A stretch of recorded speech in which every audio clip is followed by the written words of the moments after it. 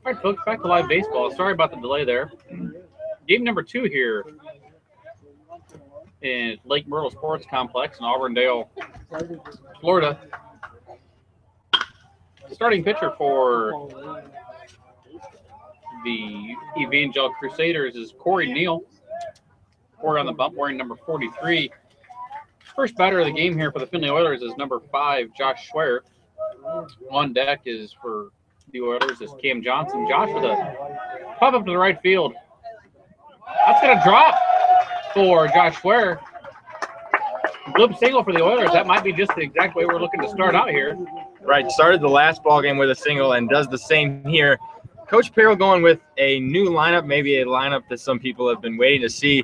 Leading the ball game off with uh, two very talented freshmen, Josh Schwer getting the start today in center field, and Cam Johnson getting the start at second base. A couple of freshmen, and then later in the lineup we have uh, Pete Burkett getting another start batting in the five hole. So three of the top five hitters for the Oilers in today's lineup are freshmen.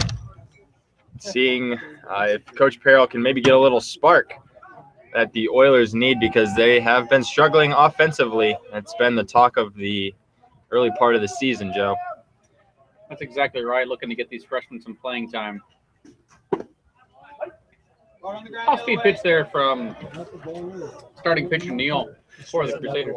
That's that's very off speed. We're being told that he's a knuckleball pitcher, and that one floated in, but picked Schwer off at first. Good footwork by the pitcher. Schwer caught leaning, probably got the steal sign.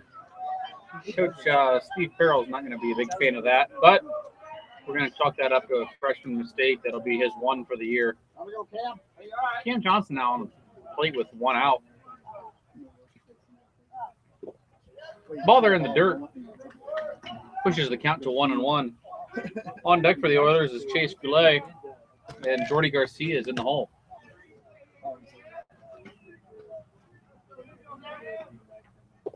Your batting order here for the Findlay Oilers. Uh, Schwer was on deck or on first there, was picked off, followed by Johnson, Goulet, Garcia, Burkett, Jorgen, Schellenberger, Merriman, and Schrock.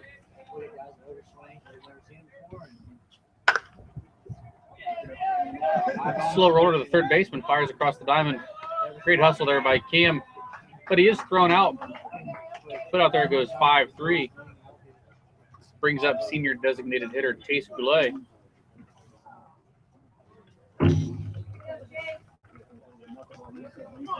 Like Kyle said, Corey Neal, starting pitcher for the Crusaders, is a straight up knuckleball pitcher.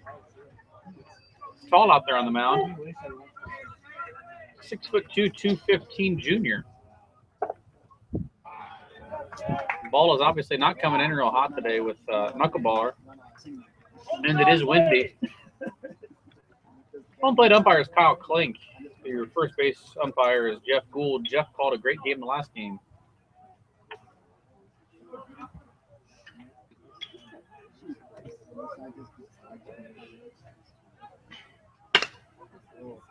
Swinging a drive here, deep right field from Chase Goulet. That's going to be extra bases for Chase as right fielder goes under it. Chase around in second, heading to third. There is going to be a play at third. Chase slides in head first. That's a two-out triple from senior Chase Goulet. That's a great way to stay on the knuckleball there. Turn on it and drive it down to right field line. Great piece of hitting by Goulet, his second triple of the year. And that's what you got to do with a knuckleball pitcher. You have to be patient. If you get antsy and try and swing at a pitch out of the zone, likely will get you to chase and weak contact. But Chase Goulet there waits on a pitch he can get, floats the knuckleball up and in. Chase rips it down the right field line and legs it out for a triple. That brings up Jordy Garcia. Jordy's catching, uh, starting catcher in today's game. Pete Burkett is on deck for the Findlay Oilers. Pete Jorgen will be batting in the sixth hole. There's a slow roller back up the middle, hits the mound. Called out there by First base umpire Jeff Gould. Oilers threaten but do not score as the ball hits mound there, leading to the third out of the inning. Oilers get a runner to third with Chase Goulet. Be back to live action momentarily.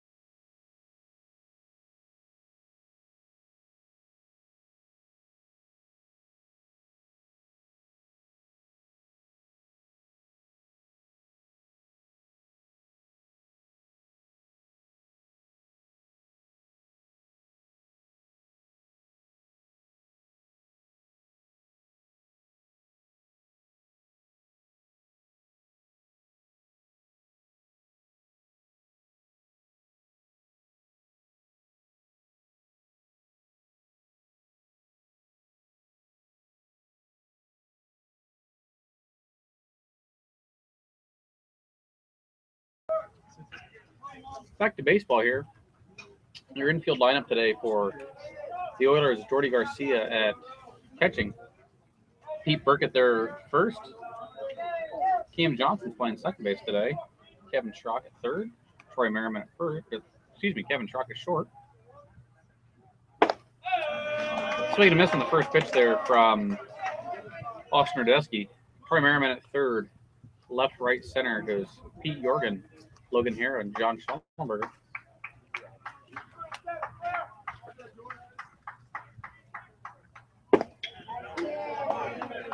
Austin Radesky quickly ahead of the batter here, 0-2. Right on the bump for his second start of the season is Austin Radesky, second start as an Oiler, uh, transferred from Urbana from last season. In that first start, Radesky pitched six innings, only allowed three hits, and did not allow a run. Struck out two in that ball game, and we'll see a pretty firm fastball out of Radesky, but the curveball is his out pitch, and strikes out the leadoff batter Kirkpatrick to begin this ball game. Again, Jordan Kirkpatrick with the uh, strikeout, recording the first out of the top or bottom of the first inning. That brings up Austin Alfrey. Austin playing left field in this game for the Crusaders. Austin shows butt, pulls back.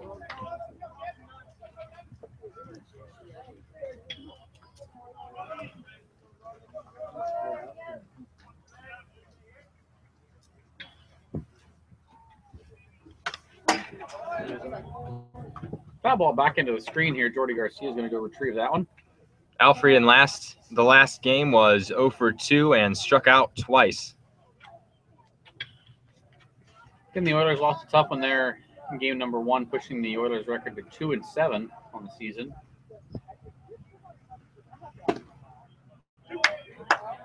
Strike on the high part of the plate there for Austin Radesky. Head again early in the count here, one and two for Austin. Short and second play fairly deep up the middle there for the Oilers. Curveball was ball high there. Troy Merriman and Pete Burkett playing straight up. Outfield appears to be playing straight up as well. 70 degrees here in Auburndale, Florida. Wind blowing strong from wind from left.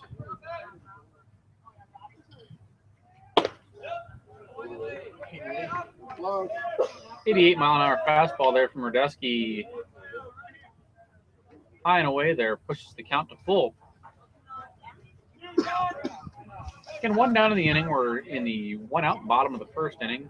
Score tied at zeros. And he walks him. So the Crusaders are going to have a runner on first. Austin Alfrey's heading down to first. That brings up number six, Mike Headley.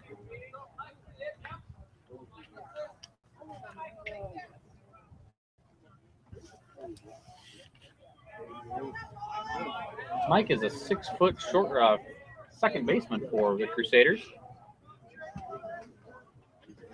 Mike Headley, one for four in the previous ball game, scored a run and did hit an RBI in that last one.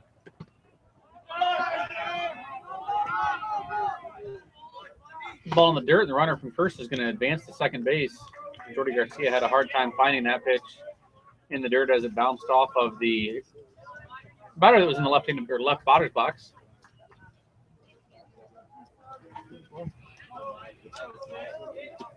Again, if you missed the last ball game, Findlay dropped the opener of this doubleheader three to two. Uh, only had three hits in that ball game, and another tight loss uh, for the Oilers. Another one-run ball game.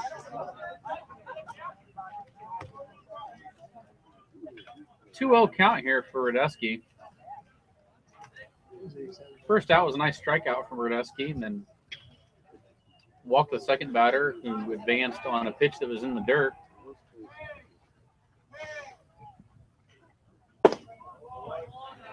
Ball away there for Radesky with the curve.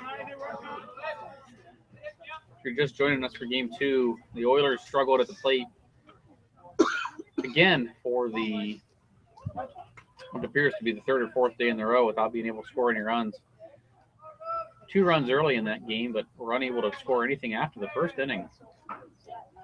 There's a nice pitch there from Radesky. 3 1. Got to be careful here. Pitching to the three hitter and a 3 1 count.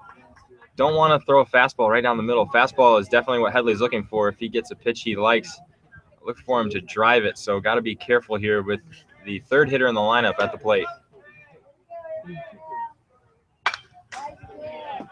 Foul ball back into the screen pushes the count to full.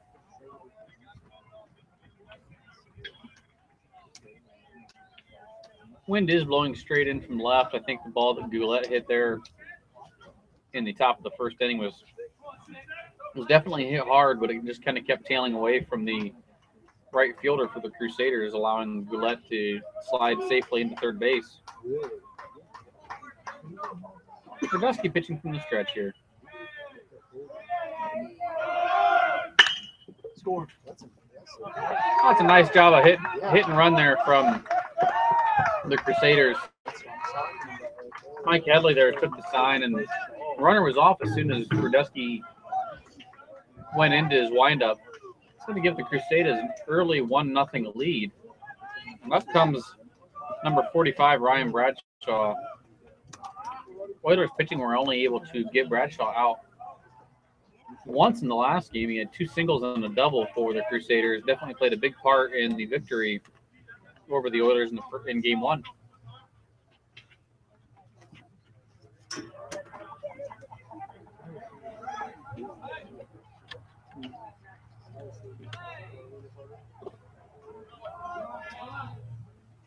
Ball in the dirt there on the curveball from Radesky.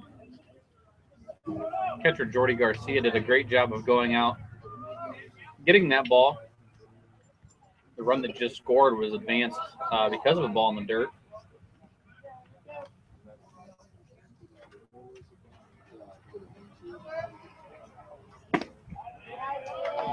Great pitch there from Radesky to get Bradshaw swinging.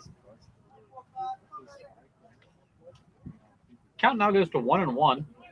Still only one out in the inning here the uh, double play combination of Cam Johnson and Kevin Schrock out there second and short, playing deep on the grass. That is a hard line drive back up the middle. runner that was on first is going to go from first to third. It's another single from Bradshaw, who's definitely been killing the Oilers here with his bat today. Shows why he's the designated hitter. He's going to put Mike Headley on third base. Bradshaw is on first. Brings up Jared Gage, first baseman for the Crusaders. Radesky's given up a couple hard hit balls here early in the game. Yeah, not what you like to see. Um, early in this ball game, Oilers offense has struggled, and so any early offense is an unwelcome sight for Findlay.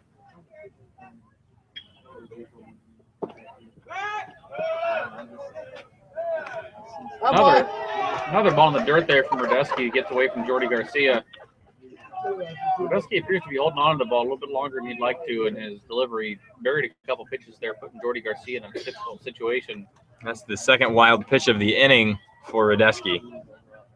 Bradshaw advances from first to second on the ball in the dirt, puts two runners into scoring position now for the Crusaders. Radesky struggling here in the first.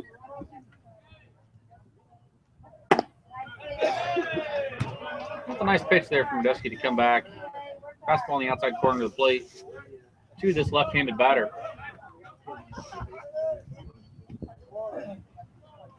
Already 20 pitches in this inning for Radesky. Laboring with only one out here. Cam Johnson is second base playing right in the baseline. Great pick there by Jordy Garcia on the pitch, low and inside. And Pete Burkett at first playing even with the bag. Cam at second playing in a little bit. Schrock and Merriman in on the grass on the left side of the infield.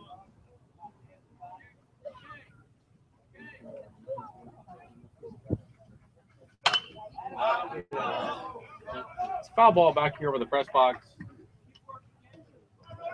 Fan from Tipp City, Ohio, collected that one.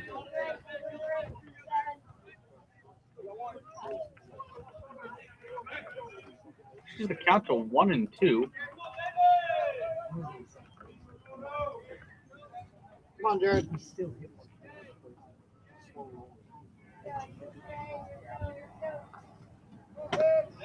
Swing and a miss. That's a nice job there of Radesky to clear the high fastball. Got Jared Gage to chase one out of the zone there. Could have been a 2 2 count there, but swung through it by Gage for the second out of the inning. That's a big out as runners are on second and third, and now two away. So a ball in play will not score the runners. Got to get this one here. Uh, Francis steps to the plate. And number 25, Darren Francis comes in. He is a right handed batter. Played in the last game here for the Crusaders.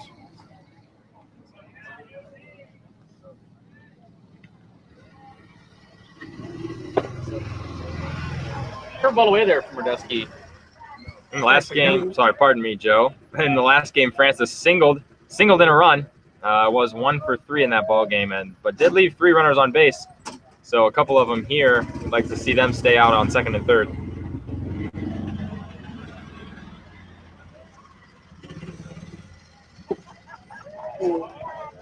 Bear with us, folks. We've got some of the maintenance crew doing a great job of keeping this facility uh, pristine and spotless.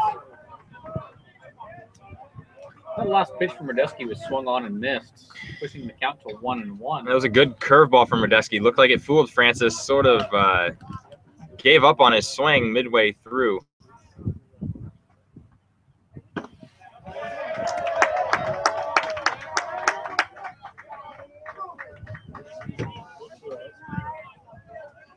Folks, I lied to you earlier when I was giving the starting lineups. Josh Schwer is in center field.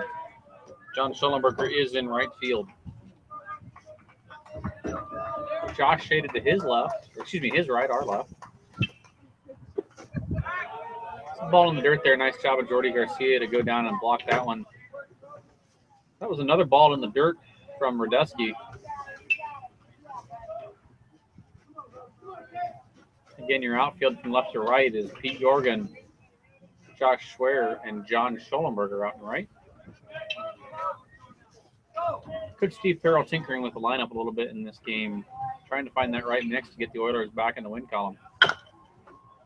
High chopper to Troy Merriman. Troy Merriman beats it.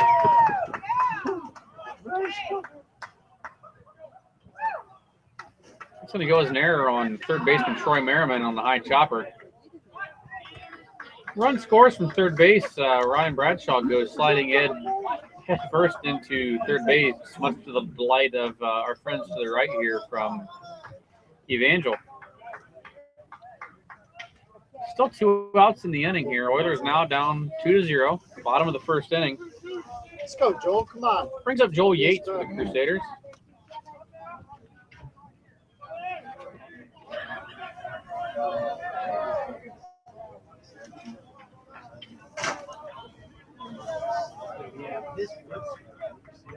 Austin Radesky pitching from the stretch with runners on first and third here. Infield playing back up the middle.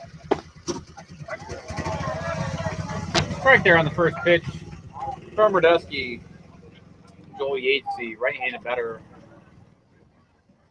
Questioning the call from home plate umpire Kyle Klink there.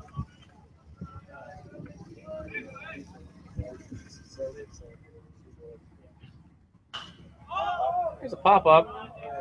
Burkett and Garcia shade over to the right. Ball lands in the parking lot there. Bus driver from Fostoria, Ohio is going home with that one. Those of you that don't know, like Kyle to my left, that's an Ernie Harwell reference. Grew up a huge Detroit Tigers fan. Honored to be calling games for the University of Findlay Oilers baseball team. Radesky back into the stretch here. Another ball outside. Kyle Radesky still laboring here. Yeah, that was Radesky's 31st pitch of just this first inning. Only recorded two outs thus far, and again, pitching on short rest here with uh, as many games as the Oilers have played this week. Seems to be a factor here early.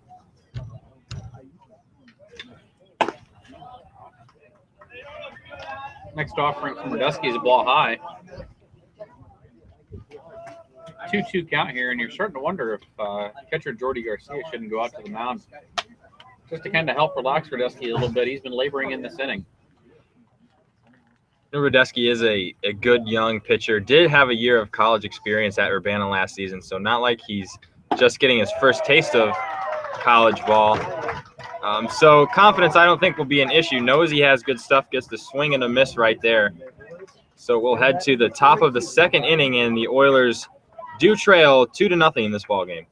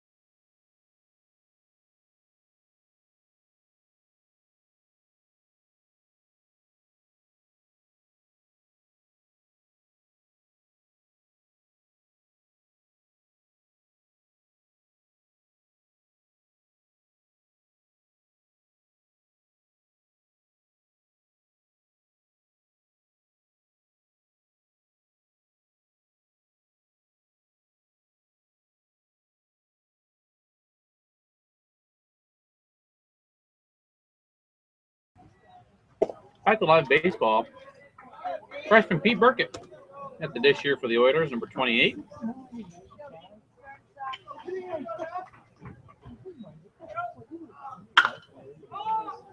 Pete swings and lifts one in deep left left field. Wow. Ball just hung in the air forever. Nice job of uh, Austin Alfrey out there in left field to stay with that one. He kept going back and back. Pete did have a hit in the last game. One of the other hits for the Findlay Oilers was from the guy at the bat now, Pete Jorgen. Berkey hit that one pretty well. Yesterday, maybe would have carried out with the wind blowing out to left yesterday, but wind blowing in seems to have died down a little bit, but still going to take a pretty good shot to get one out of here today. That's why I said it was a good day for Philly. Senior John Schellenberger on deck. Troy Merriman in the hole here. Just joining us, this pitcher for the Crusaders is a straight knuckleball pitcher. Boys haven't even had the radar gun out yet. I don't think it would even register, Joe. Might be coming in at In about 40s, 55. yeah. It's 58. Here's a slow roller back up the middle. Nice play by the shortstop for the Crusaders, Kirkpatrick. Get the put out to go 6-3 there. Senior John Schellenberger steps in. John's a right-handed batter. Kyle to my left is John's roommate. That's right. I'm always uh, pulling for the success of John. Makes everything a little more peaceful back in the uh, apartment. Makes the bedtime stories that much better, doesn't it, Kyle? That it does.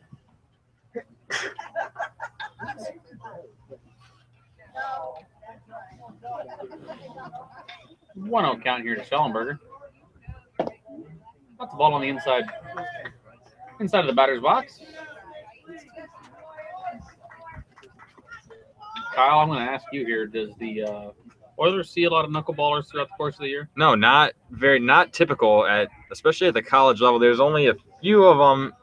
Uh, you obviously you think of Tim Wakefield, um, R.A. Dickey, a couple of major leaguers who had success with the knuckleball, but not a pitch used very often, um, especially just a a straight knuckleball pitcher. Got the four pitch walk there from John Schellenberger, and you wonder if that's not going to start the way here for the Oilers.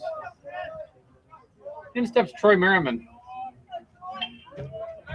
Troy had an error in the last inning, which led to a run for the Crusaders. Oilers down a couple runs here.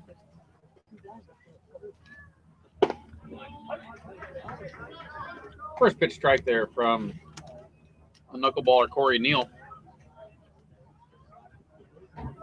In the top of the second inning here in Auburndale, Florida, Lake Myrtle Sports Complex. Nice pickoff attempt there to get John Schellenberger picked off at first base. He did get uh, Neal did get Josh Schwer picked off in the first inning.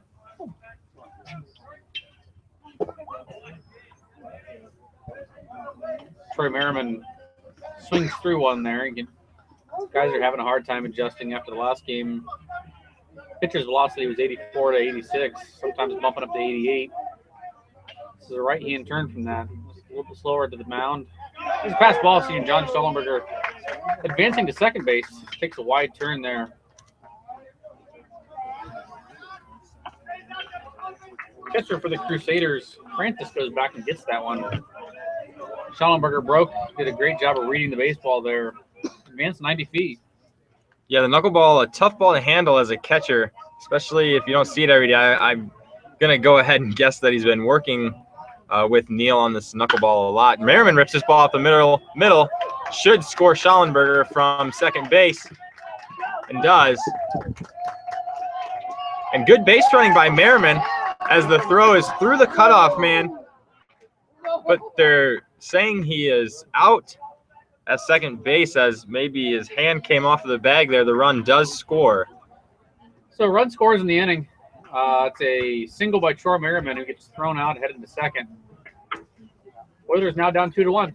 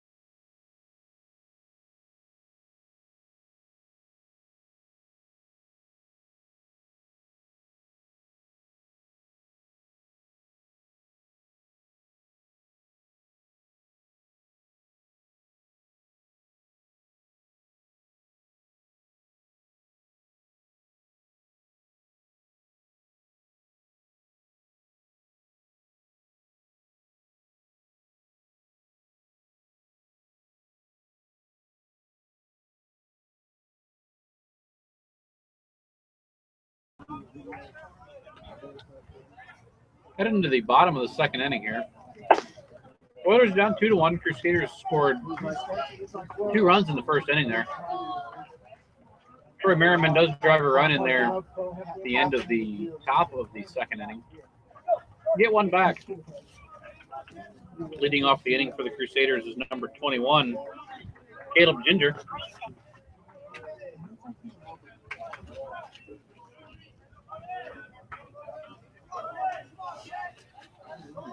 Caleb did not see any action in game number one for the Crusaders.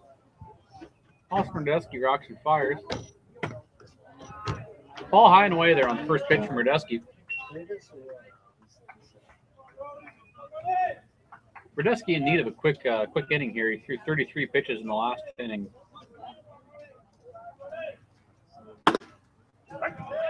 Nice comeback comeback pitch there from Austin pushes the count to one and one. And about 70 degrees here in Auburndale, Florida today.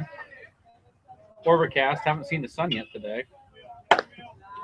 Wind blowing in strong from left field. Anything that's going to be hit out of the ballpark today is going to be a man-sized home run there. Last pitch from Radesky is a ball away, pushes the count to two and one.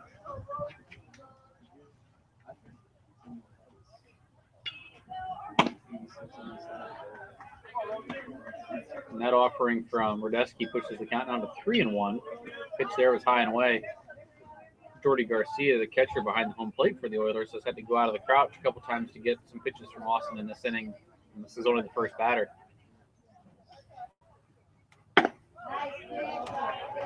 A nice pitch there from Austin Radesky. Pushes the count to full. Ginger playing in just his fifth ball game of the year has started three and is hitless so far on the season.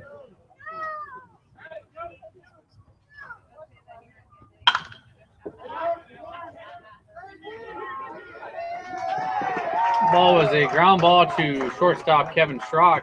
Uh, unfortunately, Kevin unable to come up with that. Another error for Kevin early in the year here. Yeah, the normally sure-handed Schrock, that's his sixth error so far this season.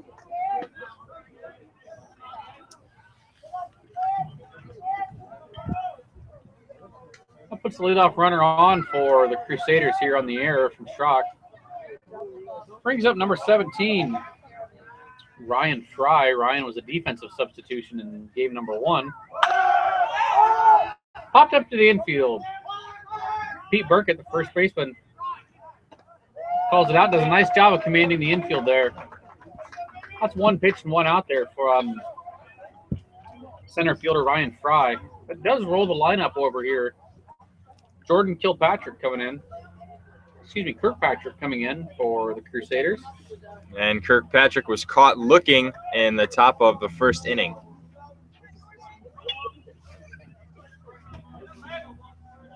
Cam Johnson and Kevin Schrock are uh, double play depth now.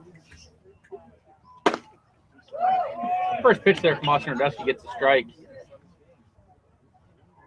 Pete Burkett doing a good job of keeping the runner at first base in place over there. Troy Merriman, third baseman, playing even with the bag. Caleb Ginger over there on first base. There's a drive to left field and land in front of Stands in front of left fielder Pete Jorgen. Pete does a good job of firing the back ball back in, but that was a sharp single for leadoff hitter Jordan Kirkpatrick. Runners on first and second now for the Crusaders, and pretty good at. But they've been on a lot. Yeah, they've gotten guys on a lot, and they have advanced uh, quite often as they've been reading balls in the dirt and taking any extra base they can possibly muster. Strike there to Radesky, from Radesky to number 29, Austin Alfrey. Jorgen playing shallow and left. Short Schwer out in center field takes two or three steps back here. Schellenberger in right. Stays in place. Infield at double play depth across the infield. Ball outside there from Radesky as Jordy has to come out of his stance to catch that one. And one down in the inning here. We're in the bottom of two. Oilers trail by a run. Score is two to one.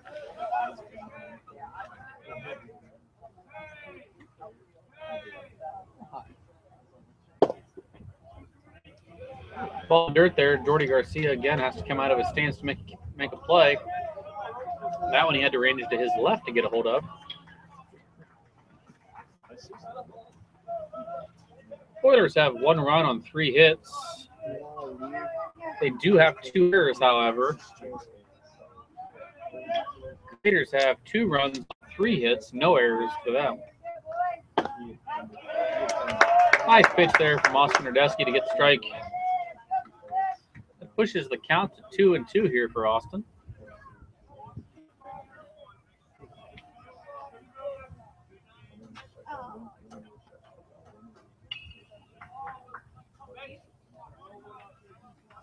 Austin pitching from the stretch, runners on base. Ball high and away there. Jordy Garcia again has to go out of his again has to go out of his stance. It's a full count now with one out here in the inning. Cam Johnson at second base is getting his first start of the year for the Oilers at the varsity tilt. Cam has had some playing time in some of the JV games for us. Runner from third goes, foul ball back out of play.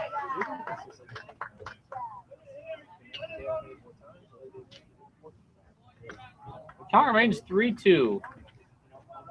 Bottom of the second inning here.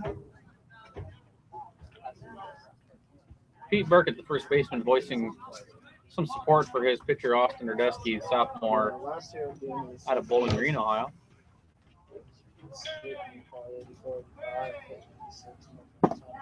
Swing and a miss there, and throw down to third base. Nicely done job there. Strike him out, throw him out. Double play there from Jordy Garcia. Jordy showing why he started so many games for the Oilers last year. Again, strike him out, throw him on double play there. They end the inning. Crusaders threatened but do not score. We're headed to the top of the third inning with Findlay down two to one.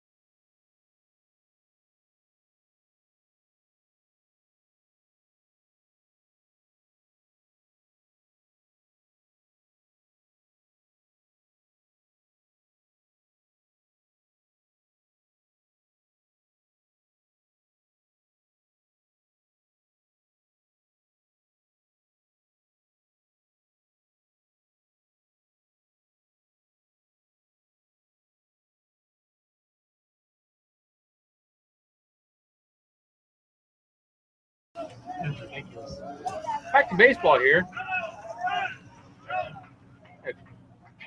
Time called here from uh, first base umpire Jeff Gould. Coach Jaron Stutzman was uh, delay game there on Jaron Stutzman. Anyway, we're bringing in uh, Kevin Schrock here. Kevin gets popped up, pop up to the right side. Second baseman goes back and makes a nice play on it. Headley makes a nice play going back, battling the wind. That does roll the lineup over here. Number five, Josh Schwer, reaches going to be uh, batting second in this inning. He singled the lead off the ball game, and again, Joe, you need to be patient with the knuckleball, as it's not a pitch you see every day, especially there, Schrock. That was his first look at the knuckleball and swung at the first pitch. So patience is the key. Uh, It's as tempting as it can be that you see that ball coming in at, at, at 58 miles an hour, and you just want to swing out of your shoes, but doing that is only going to result in an out. Slow roller there by Josh Schwer at the foul ball. That almost came back but it was just foul. Good, good call by the home plate umpire. Kyle Klink did a nice job there of correctly making the call there as it did bounce back. Did appear that it was going to come back into fair territory. It's quickly 0-2 on freshman center fielder Josh Schwer. Josh played uh, Anthony Wayne High School, northwest of Findlay, Ohio, from White House area.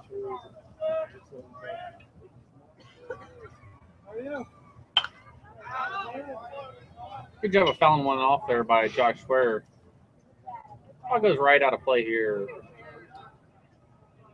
You see Schwer with the arm sleeve and uh, brace on the right arm has had a couple of surgeries in the shoulder and the elbow as he's battled some arm issues after throwing a lot of innings in high school.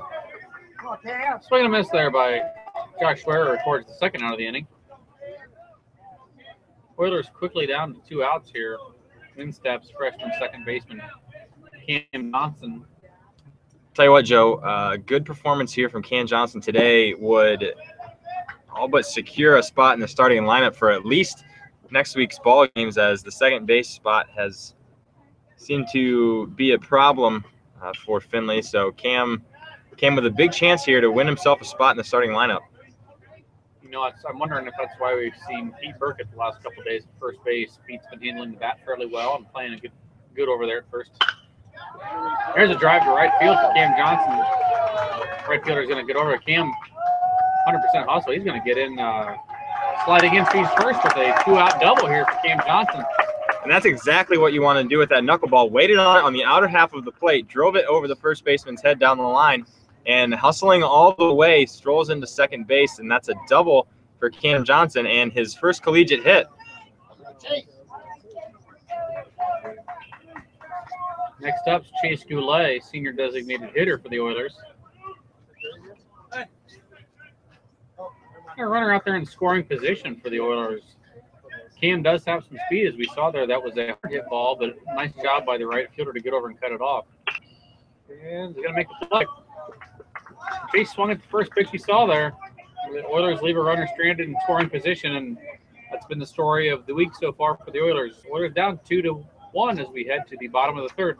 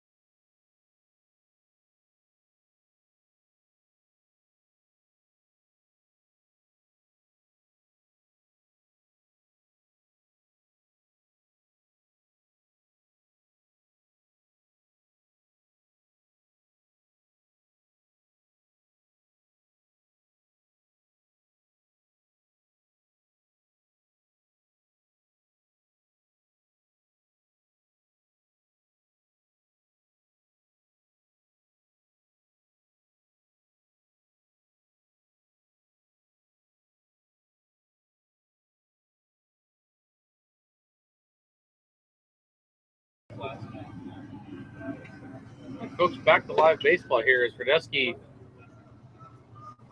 getting his warm-up pitches in. And to end the top half of the inning for Finley, a pop up from Goulet again. Patience with the knuckleball is key, and two of the three outs from the Oilers in that innings were first pitch pop ups on the infield.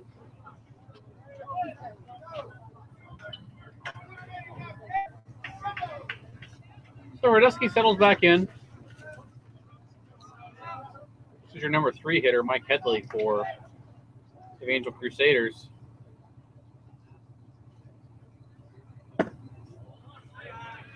First pitch is a curveball low and away there for Austin.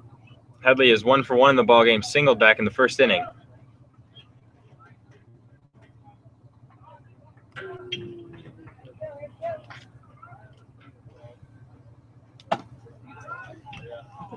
Pitch. High above the letters there. Again, Jordy Garcia is out of his crouch there behind the dish, pushes the count to 2 and 0. Austin's going to need to do some work here to get back into this at bat. Fastball high pushes the count to 3 and 0. And there is some action in the bullpen, it looks like. Um, can't see who it is from our angle. It looks like a lefty, maybe Reed Renolette, a freshman from Defiance, Ohio, I believe, getting loose in the bullpen. Pushes the count to 3 and 1 there. That was a nice comeback strike from Austin Radesky with the fastball. You got to wonder how much Radesky has in him. Again, pitching on short rest. Has battled some control issues here. Gave up two in the top of the first, but has settled down and done a pretty good job here since then. But is at 53 pitches now, and another walk from Radesky. You got to wonder how long Coach Farrell is going to leave him out there. Another walk Radesky and another uh, base runner for the Crusaders, which not to beat a dead not to beat a dead horse here, but they've been on the base pass all day for for the Crusaders. They've been out there a lot in the last couple innings. The uh, Oilers have done a fairly decent job of getting them off the base pass, not giving them any really big innings, but Oilers are not scoring enough runs to cover what we have given them. You're right, Joe. And Headley, another leadoff runner reaching base as Bradshaw hits a screamer past third baseman Troy Merriman, but just foul. So Radesky ahead in the count, 0 1.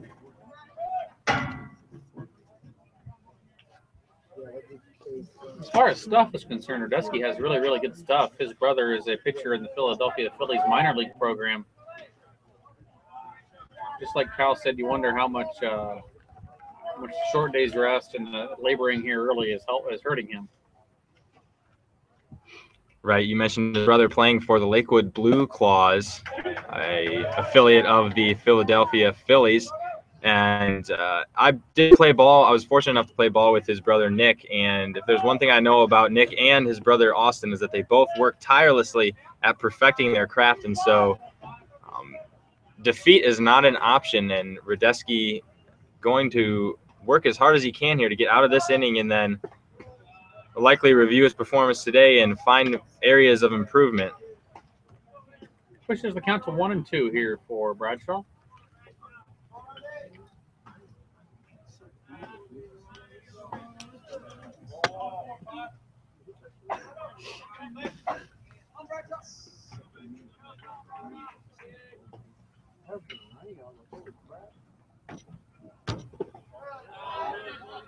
Jordy Garcia again out of his crouch there. Jordy's uh, Jordy's been playing in the dirt a lot today. As far as Radesky, uh, kind of spiked a couple balls there early in the first inning, and Jordy's done a great job of protecting uh, everything behind him there. Yeah, a couple of wild pitches in the first inning from Radesky, but Garcia doing the job of a catcher and getting to his knees. Blocking balls in the dirt as a good catcher should do.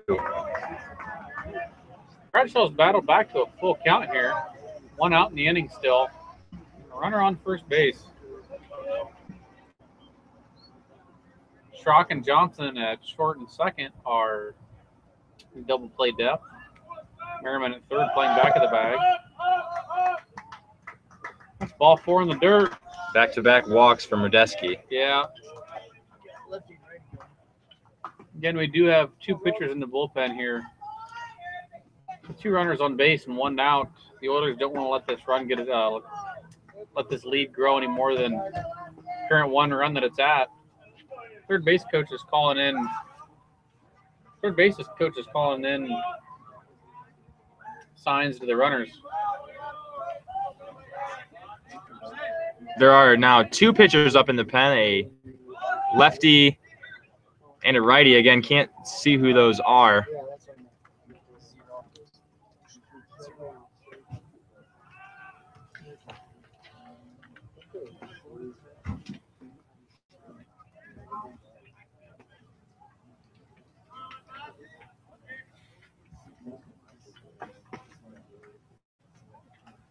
this. Again, it's a 1 0 count, no outs in the inning here.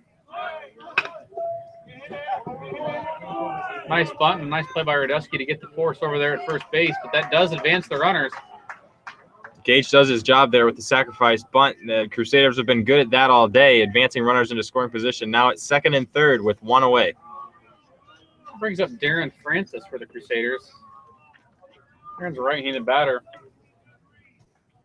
Five foot nine hundred and ninety-five pound fielder. 995 pounds? 195 pounds. Ah.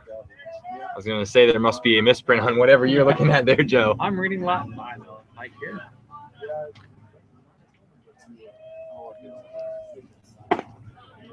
Nice curveball there from Radesky to get ahead of the batter. One thing I'm noticing out of Radesky, the curveball not as sharp here now is 62 pitches in, uh, not as sharp as it was in the beginning of this ball game. Maybe starting to tire a little bit on the mound, and who can blame him pitching on short rest? And he has thrown a lot of uh, pitches here through two and third. Swing and a miss there. Prince is now 0 and 2 in the hole.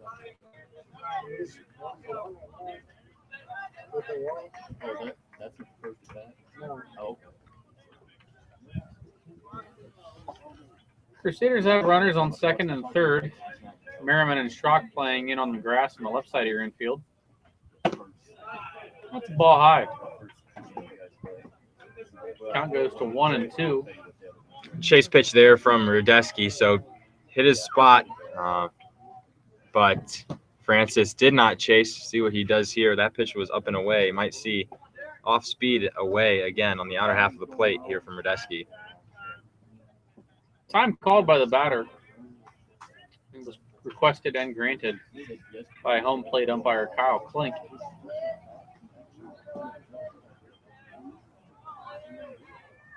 Garcia does set up outside. Yep. And the curveball does go away from Francis, and he gets a piece of it, fouling it off over to our right.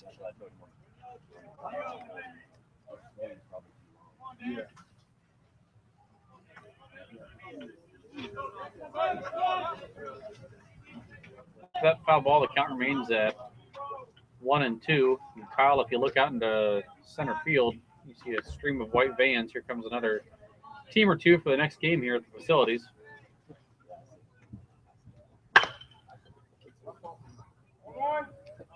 Ground ball there to Troy Merriman, the third baseman. Troy does a nice job of looking the runner back at third. Good, good pitch there by Radesky. Again, went with the curveball. This one caught the inner half of the plate off the fists of the hitter Francis. Rolled a slow one to Merriman, who checked the runner at third.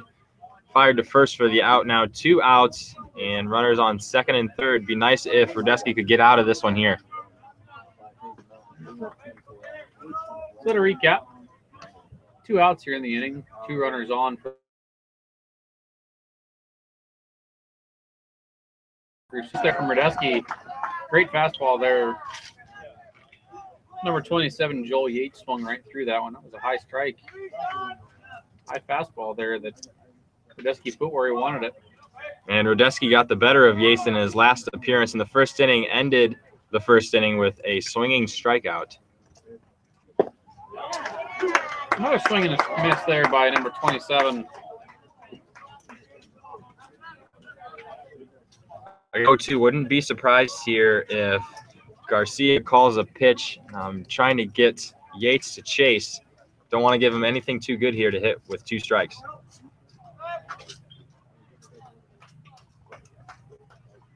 And that is exactly what happened. Garcia called the curveball away. Radesky hit his spot, but Yates, disciplined at the plate, does not chase. Count goes to one and two. Radesky can get out of this inning. I fear that might be the end of the day for him, but if he can limit the damage here to two runs with all the base runners that the Crusaders have had, that'll be a good day's work for him. Radesky comes home with a pitch. That's a nice there by Austin Radesky to come back after getting runners into scoring position. No runs scored there by the Crusaders. However, they still lead two to one. We head to the top of the fourth.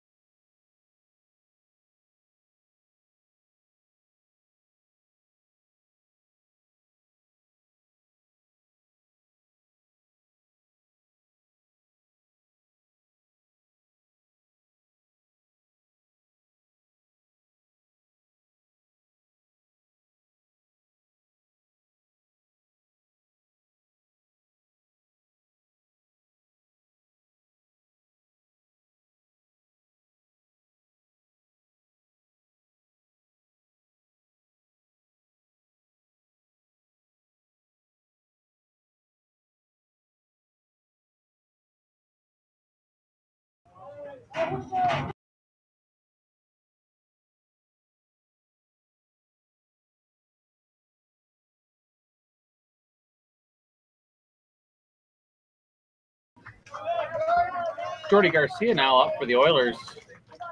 Jordy's caught a great game today. And the first pitch there, ball high and away.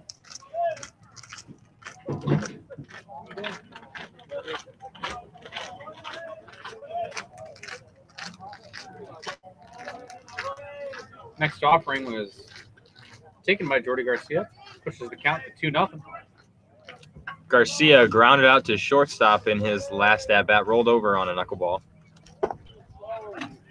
First strike of the at bat there for Garcia pushes the count to 2 and 1.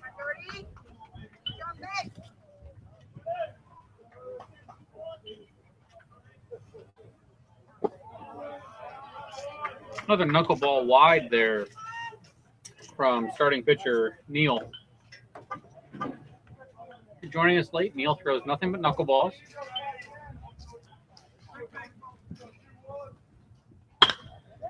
Jordy Garcia gets into one. That's a drive to straightaway center field. Nice sliding catch there by Ryan Fry, center fielder. Thank you to the guys to my right. Another good diving play. I've seen a couple of those out of uh, center field here. Not sure if it was it Fry in the last game that made the diving play. No, it's Padron. Okay, uh, Padron was the one in the last game. The center fielders here for the Crusaders doing a good job of covering some ground. Another base hit there for Pete Burkett, first freshman first baseman. Pete's trying to do his best to cement his spot in the lineup here for the Findlay Oilers. Right, Burkett getting the start a few days ago for for Roman Kuster, who had started the first few games. Roman taking a seat um, was feeling lightheaded after the 15 inning affair we had, and maybe the heat getting to Roman. So Burkett on in place of Kuster, and Burkett taking advantage of his opportunity. Might be Wally pipping him here. Kyle looks at Neil. He has no idea what that ref is for. I I don't.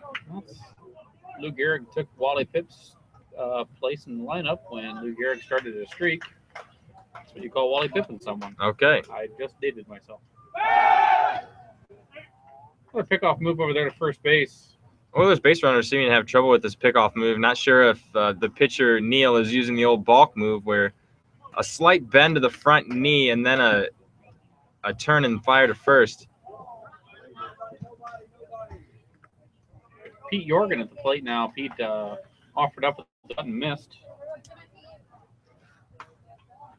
As a base runner, when you see that front knee bend, you're you expect the the front foot to to lift, and that's what you're looking for as a runner.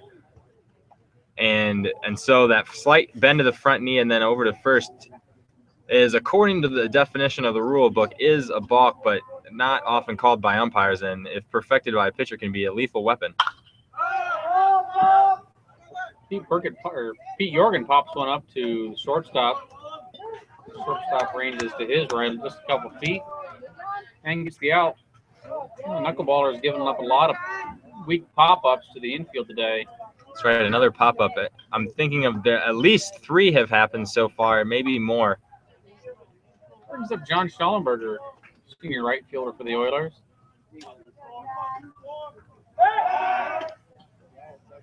Again, the Oilers are up, or excuse me, Oilers are down two to one. We are in the top of the fourth inning here.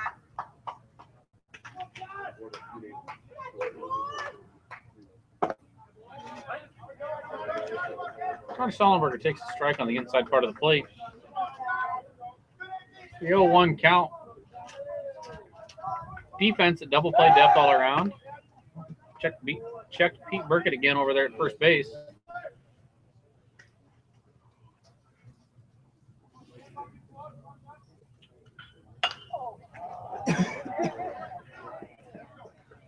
John Schellenberger with the pop up. You could hear from here he voiced his displeasure.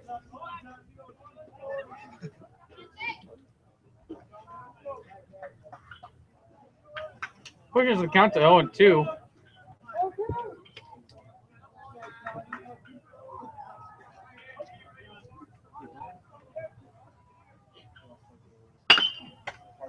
There's a line drive back to the pitcher on the ground ball.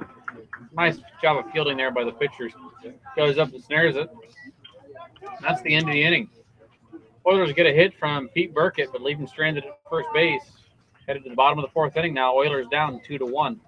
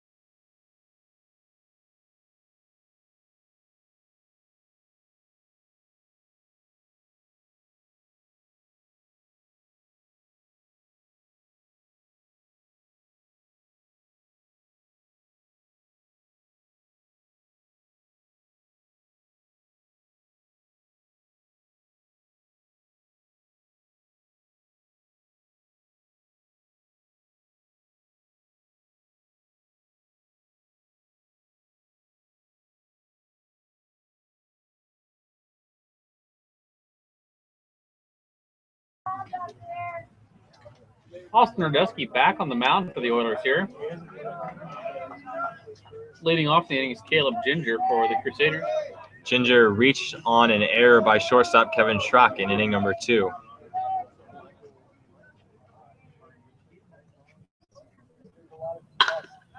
A line drive in the left field for Caleb Ginger. Caleb rounds first, and Josh Schwer does a nice job of going over and cutting it off. Left fielder Pete Jorgen tried to make a diving play in left field, trying to get the defense excited, but unfortunately did not make the play. Josh Schwer does a great job of going over and covering.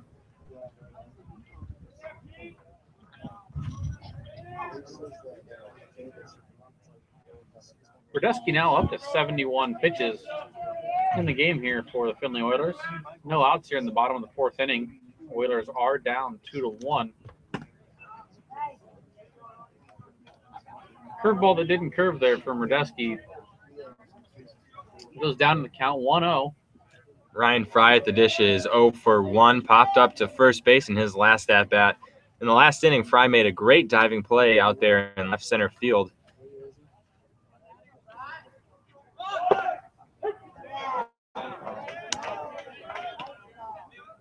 Strike called there by home plate umpire Kyle Klink. 1 1 count now for Ryan Fry. Troy Merriman, third baseman, playing in at the cutout. Freshman first baseman Pete Burkett holding the runner at first base. Around the infield, the junior catcher, freshman third baseman, sophomore shortstop, and freshman first baseman and second baseman. So a fairly young infield here for the Findlay Oilers.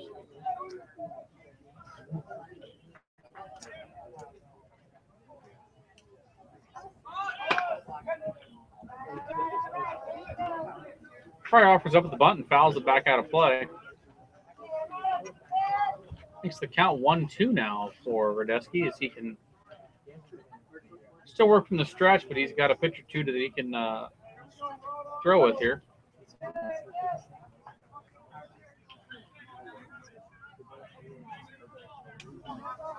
Kevin Schrock and Cam Johnson at short and second.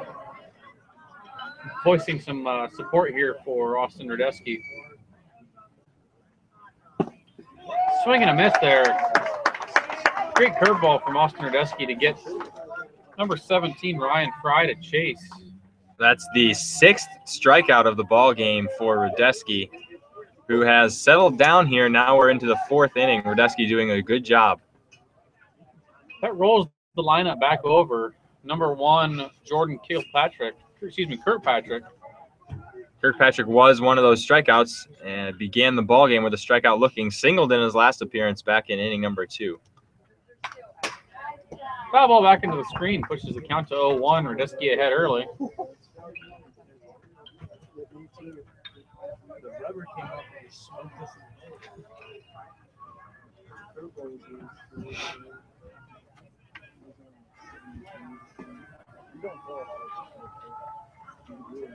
Kirkpatrick having a pretty good day. One for two in this ball game was two for three in the ball game prior. So having a pretty good day here at the plate. Next offering from Radesky is a ball high, pushes count to one and one.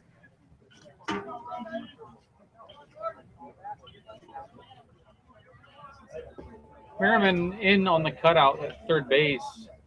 Pete Jorgen out in left field takes a couple steps in. Nice block again there by Jordy Garcia. Josh Schwer in center takes a couple steps back, and John Schellenberger in right plays straight up.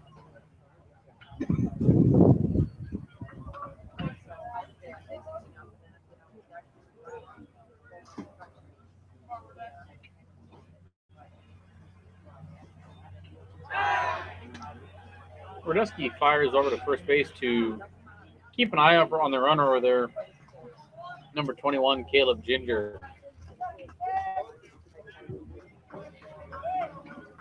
Again, Kyle, there's a lot of youth in this lineup for the Findlay Oilers squad.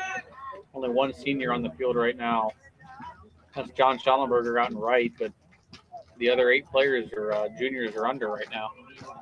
You're right. You know, you mentioned the youth. We've talked about it today so far, but uh, youth is not an excuse, as all of these players are definitely capable of playing at this level and doing a pretty good job right now in a tight two to one ball game. It's going to be interesting to see how they react as this ball game gets into the later innings. Um, down a run, see if they can muster some offenses. Now, Radesky has picked over three times to the runner Ginger at first.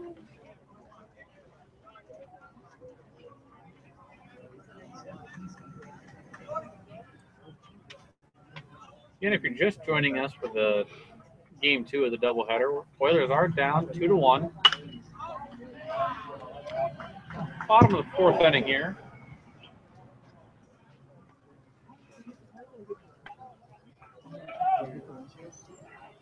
Oilers bats have fell silent again today in the last two games. The last game we had three hits. Kyle, I believe we have three or four. We have four hits today's game, correct? We have five hits in the ball in the game now. The the game prior, only three hits, all in the coming in the first inning. And again, if you missed it, Colin Gossard got the start for Findlay and took the loss. Went five and a third, allowed nine hits, only three earned runs, and struck out four. Not a bad start from the freshman Gossard, but just not enough run support to get the win. Runner going for first base, Jordy Garcia lost the ball on the transfer there. So the runner does advance to second base on the stolen base.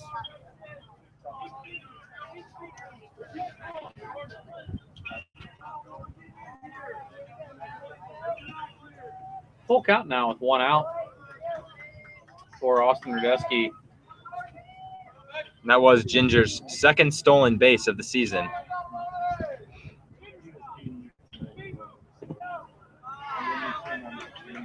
Block in the dirt there from Jordy Garcia prevents Ginger from advancing to third base.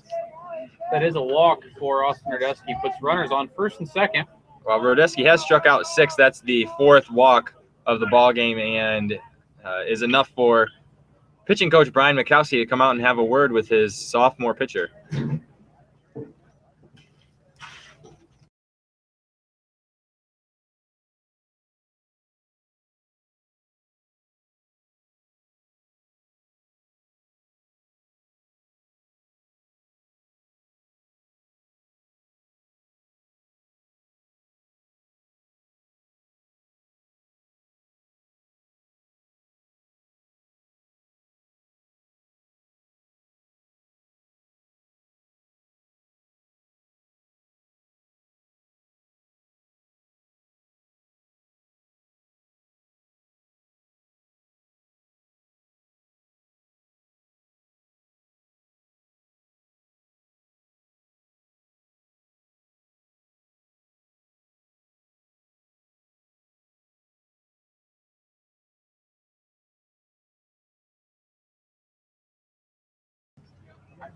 Back to live action now. Coach Mikowski, their pitching coach for the Findlay Oilers, done with the conference on the mound. Radesky pitching from the set with two runners on. First pitch back from Radesky is a strike on the outside corner of the plate. This is Austin Alfrey for the Crusaders. Austin is your left fielder.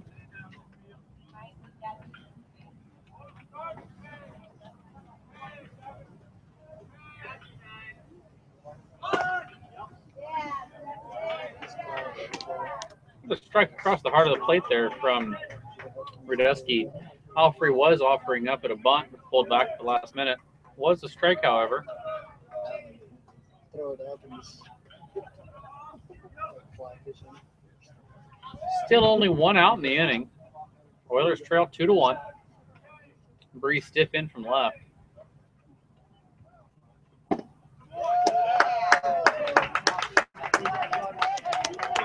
A strike three call there from home plate umpire Kyle Klink. Radesky gets the swing and a miss. Sorry, Joe, for his seventh strikeout. He, and yes, he did spot that up on the outside part of the plate. Garcia with the stick and a swing and a miss. Two away here.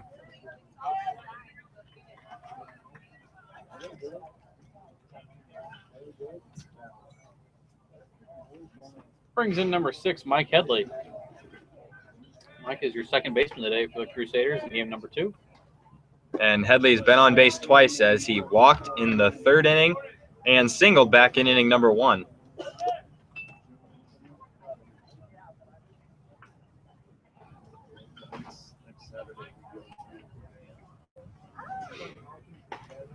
More action uh, in the Oilers bullpen. Jordy Garcia goes out to have a quick conference with Austin Radesky. The lefty in the bullpen is freshman Reed Renolette. Still not sure who the righty is, but a couple of arms getting loose in the pen. It looks actually now like Reed has sat down and sophomore AJ Cecil, I believe, is getting loose in the pen. Again, from our vantage point, tough to see into that pen. So if I'm incorrect, I apologize. I've been wrong all week, Kyle, so don't worry about that. Ball high and away there from Austin Radesky pushes the count to 2 0. Infield playing straight up, outfield playing a little deeper than usual.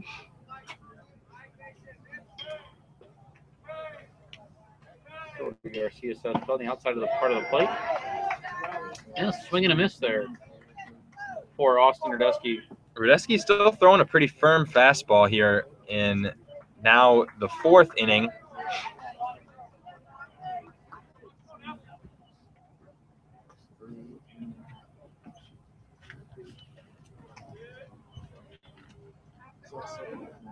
Mike Headley at the dish here for the Crusaders. Struck on the outside part of the plate there.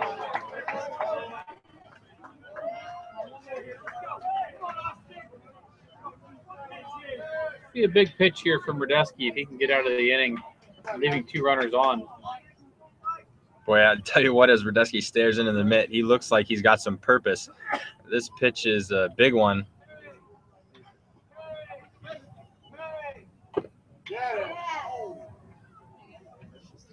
Foul ball, I believe it hit off the end of the bat of the hitter Headley, but and then caromed into the arm of Jordan Garcia, who's going to be given time to shake it off a little bit here.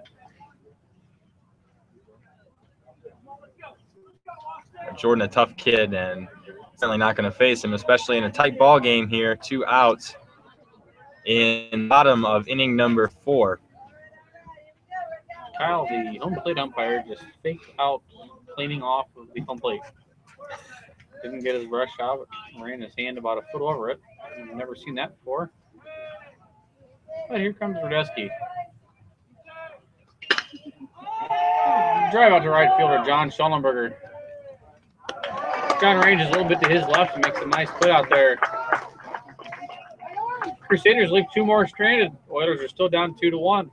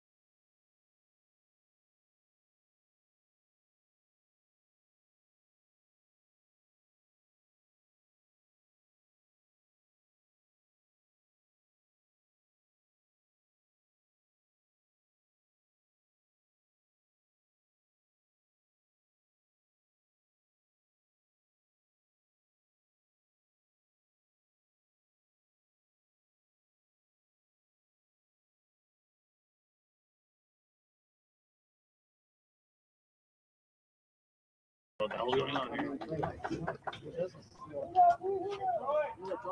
All right, back in for live baseball. Number seven, Troy Merriman, third baseman for the Oilers, is in, in the batter's box now.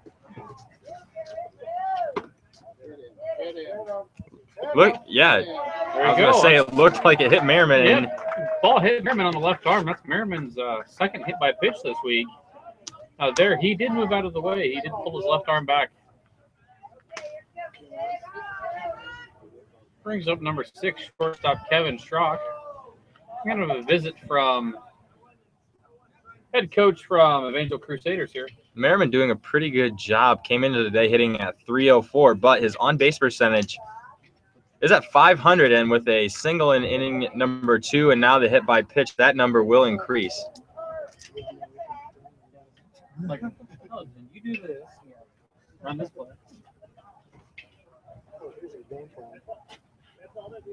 All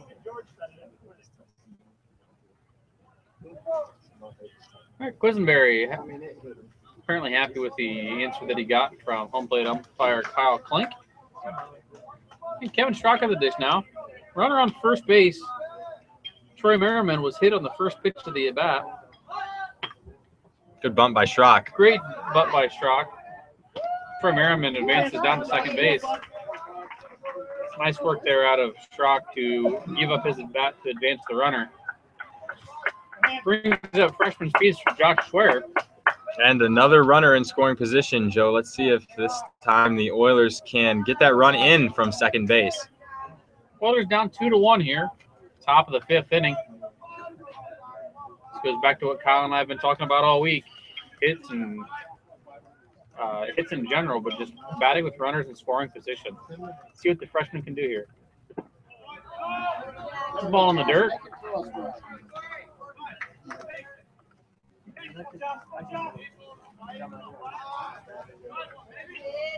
Corey Neal's thrown two pitches so far in this inning. Neither one have been for strikes. Josh Schwer squares it up. It's a line drive to the third baseman. Third baseman makes a great stop and an even better play by the first baseman to uh, go high to get that ball. Schwer hit it hard, but right at the third baseman, who just drops to his knees and fires across the diamond for out number two. See if Cam Johnson, another freshman, can drive in Merriman, hitting three freshmen in a row here. Oh, pardon me, Schrock is in the mix, a sophomore. So you go freshman, the sophomore Schrock, and then Schwer and Johnson, both freshmen. See if they can score a run here.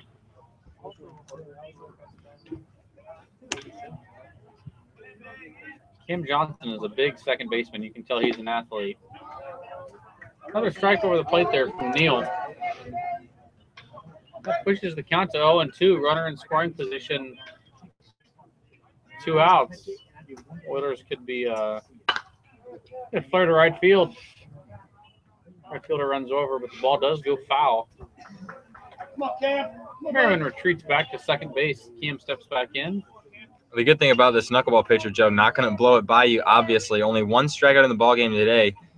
So Johnson likely going to put the ball in play here and make the Crusaders get him out. Yeah, Like- the Oilers have, had, have hit the ball a lot today. They just haven't hit it hard. There's a ground ball to shortstop. Shortstop brings it to his right, makes a nice play to fire across the diamond. Two in the inning.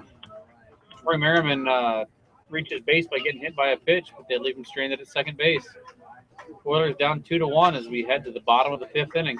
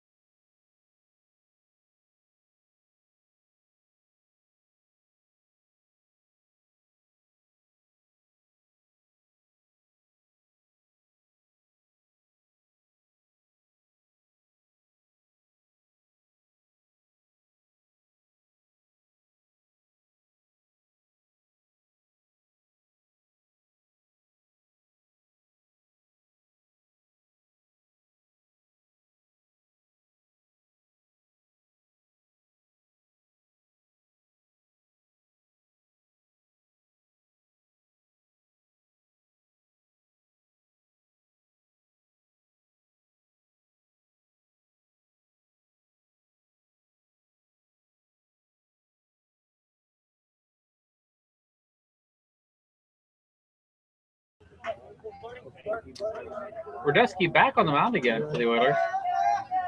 Kyle and I were unsure if he'd be back out for this inning or not with all the action that has been in the Tigers for Tigers fan. Oilers bullpen. Maybe someday, Joe. Yeah, I don't think I don't think we're that good yet. No, we definitely are.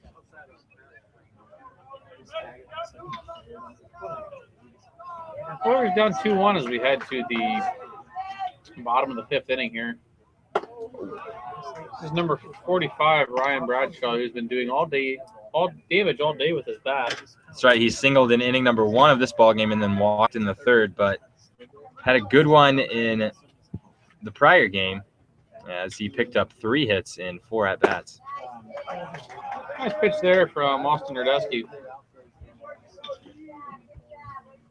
Pushes the count to one and one.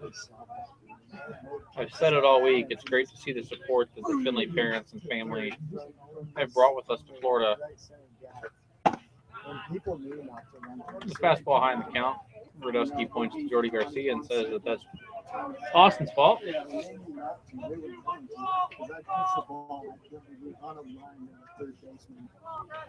Infield and outfield playing straight up in their respective positions. And Radesky hits number 45, Bradshaw. So even without hitting the bat hitting the ball, Bradshaw is reaching base. And Bradshaw on for the sixth time in this ball game, or not in this ball game. Pardon me for the day.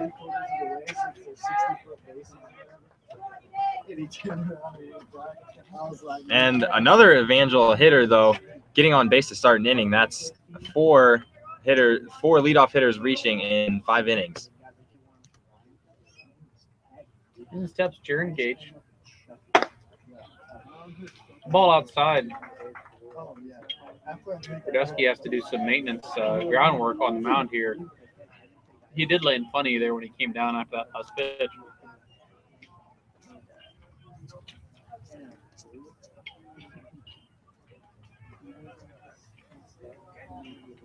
Jordy Garcia does a good job of going out, checking on his pitcher there. Returns, and we're back to live baseball. And Gage 0 for 1 in the ball game today. Struck out in the first and then had a sacrifice bunt back in inning number three and rips this ball through the hole, and that's a hit for Gage. A hard hit single there, ground ball back between the first and second baseman. Schellenberger, Schellenberger does a good job of coming in and firing back into the infield to prevent runners from moving any farther. But the Crusaders are threatening again. They've got runners on first and second. No outs, bottom of the fifth inning. Here comes Findlay pitching coach Brian Mikowski.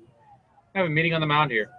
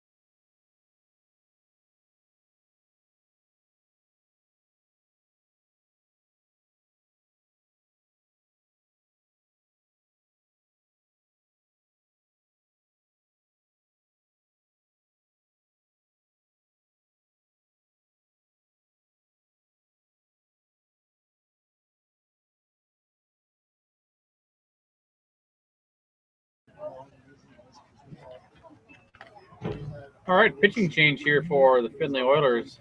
Oilers are going to bring in sophomore middle relief pitcher, right-hander AJ Cecil. AJ out of the Elmore, Ohio area. Good day for Austin Radesky. He did labor there through the last couple innings, and he does have two runners on now that are uh, are his doing. Cecil has pitched in three games thus far, gone three and two thirds innings, has allowed seven hits and five runs, struck out three. First pitch strike there from AJ Cecil. And the line on Radesky, now that he has taken the exit, he pitched four complete um, and gave up five hits, two runs, one earned. Did walk four batters, but struck out seven. So a lot of strikeouts for Radesky today, but he also did put some runners on with some walks. Right, and these runners on now, if they would score, would be charged to Radesky. So that line not final yet. First two pitches are strikes there for AJ Cecil. Jordy Garcia, I can't rave enough about how good a job he did today catching Radesky, who struggled with his control a little bit early. A couple wild pitches advanced some runners and helped lead to a couple runs scored here for the Crusaders.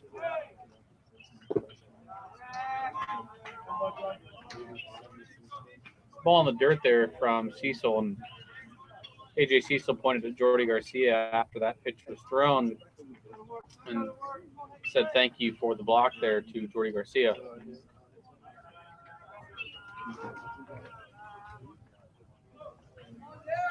Infield at double play depth. Troy Merriman uh, in a little bit closer, tighter to the bag there at third base. Outfielders play straight up.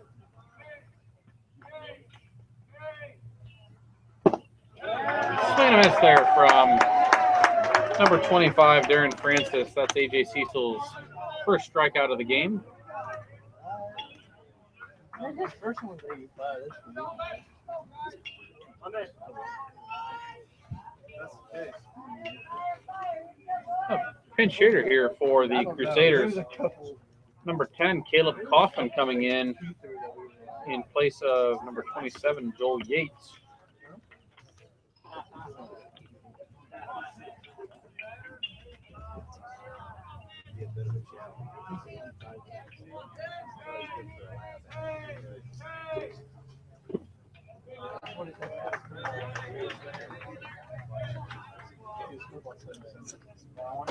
Kaufman coming off of the bench in this one to pinch hit. Started in last in the last ball game and went two for three.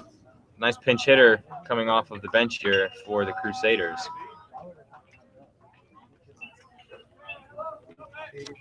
Oh, one count here for AJ Cecil. Again, one out in the inning. We are in the bottom of the fifth inning. The Oilers trail two to one. Runners on first and second. Like Kyle had mentioned earlier, if these runs do come across the plate, they will be charged to the Oilers starting pitcher, Austin Radesky.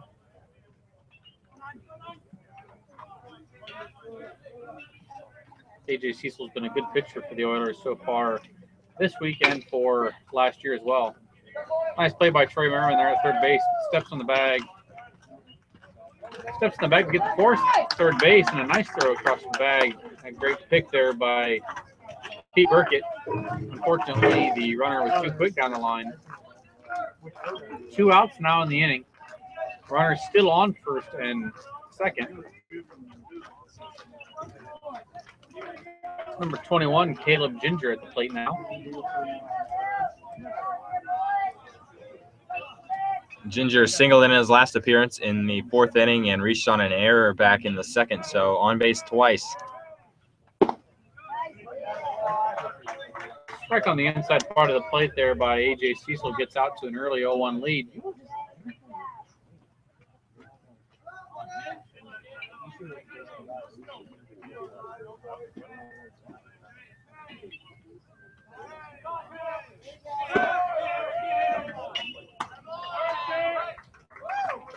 ball on the outside part of the plate The a double steal on for the Crusaders there as well. They now advance both runners 90 feet. Runners are now on second and third base. That Ginger. One and one here for Ginger. Another hit.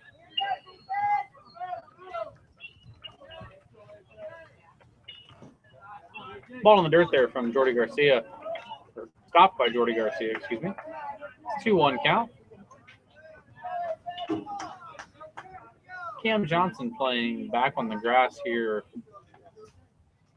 for the Oilers at second base with the left handed batter in. Ball outside there from AJ Cecil pushes the count to 3 and 1. Let's see, he didn't even- Oilers first baseman Pete Burkett shading towards the bag, deep in the hole, not quite back on the grass. Outfield is straight up here for the Oilers. That was 87. Here's a ground ball to Kevin Schrock. Big bounce for Kevin. Fires across the diamond. Crusaders leave two on there in the inning. They threaten but do not score.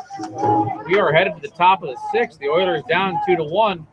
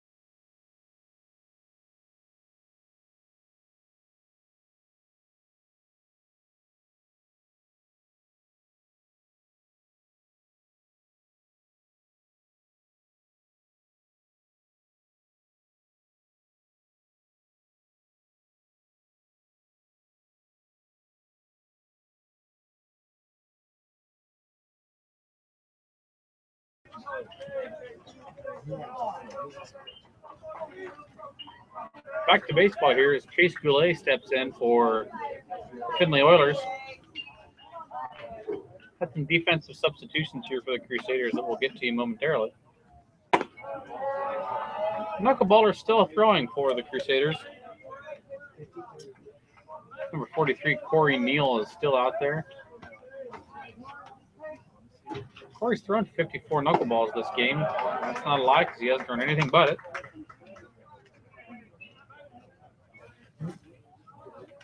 We now have Kaufman at third base, Fry in right field.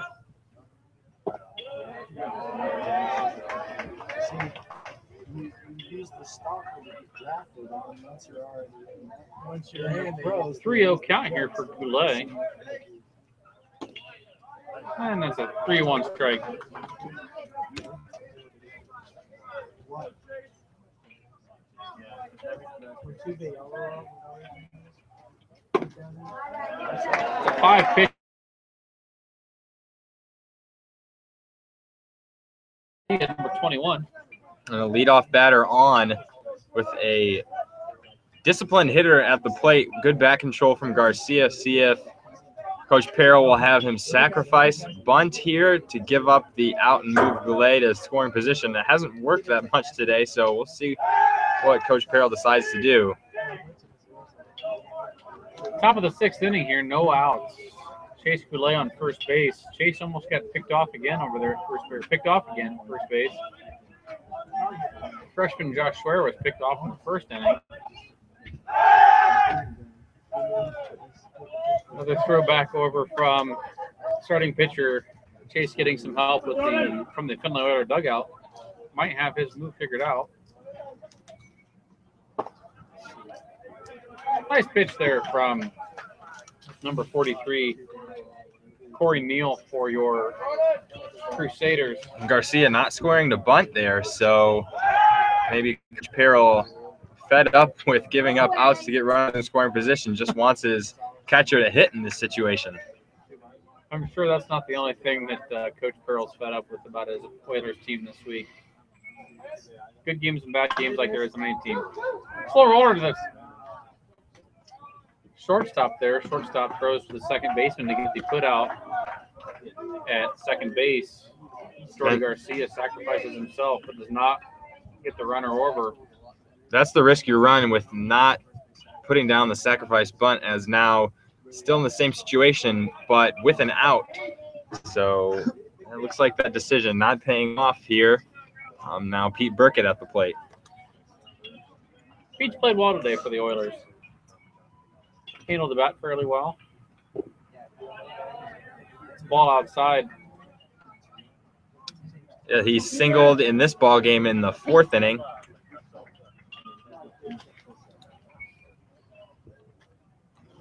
One out in the top of the sixth here. Oilers down two to one.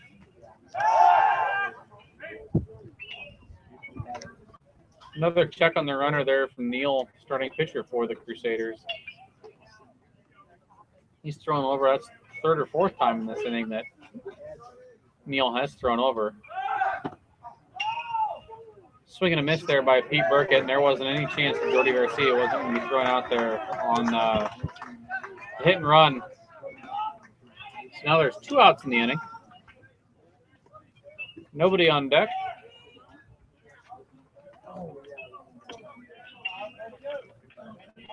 One one count here for Pete Burkett with two outs in the inning now. Sun's starting to peek its head out just a fuzz here in Auburndale, Florida. Lake Myrtle Sports Complex. Beautiful complex here, five or six baseball diamonds, soccer fields galore. All around a nice little spot we got here to call home for three to four days this week.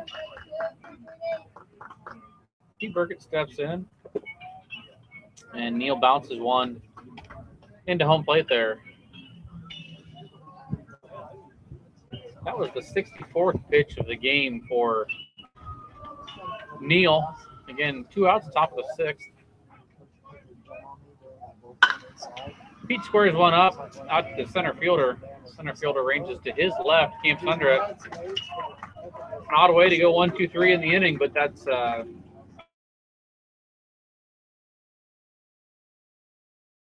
excuse me, going to the bottom of the sixth inning. Oilers trail a run.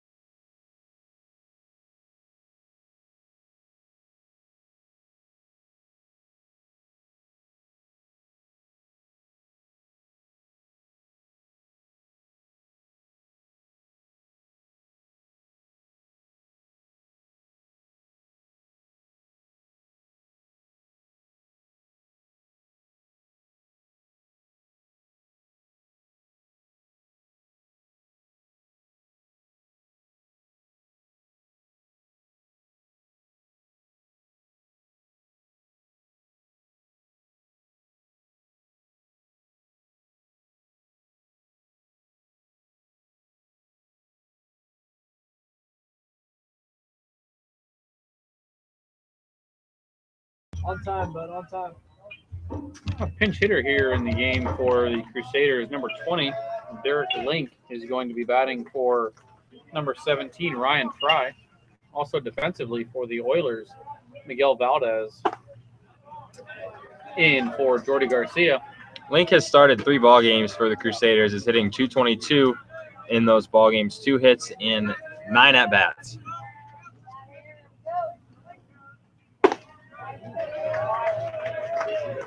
Another strike there from AJ Cecil, ahead in the count 0 and 2. Kyle, is Miguel a defensive substitution? Yeah, Miguel is now Purely- in for Jordan Garcia. you think that's purely for defense? Since Jordy batted last inning? Yeah, that is likely the case. Um, Miguel, a solid defensive catcher.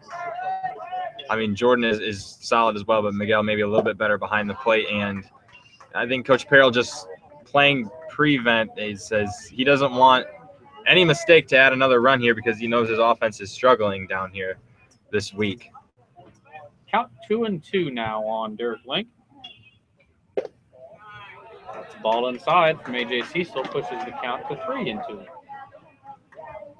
Come on, Lake, win it, bud. We are in the bottom of the sixth inning here. No out in the inning.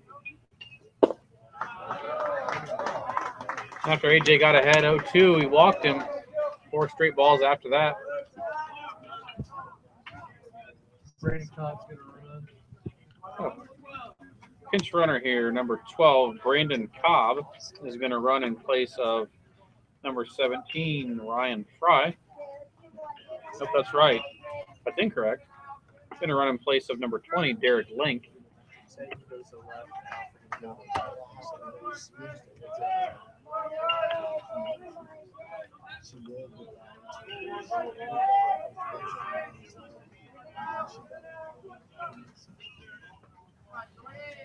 Come on, Jordan. Yep. Ball in the dirt there from Miguel or from AJ Cecil advances the runner 90 feet. Pinch runner Brandon Cobb advances 90 feet to second base after AJ Cecil buries one in the dirt there.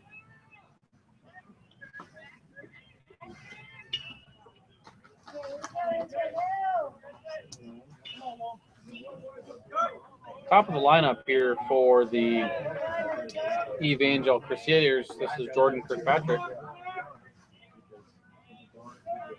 And Kirkpatrick walked in the fourth, singled in the second, and struck out to begin the game. So one for two in the game today.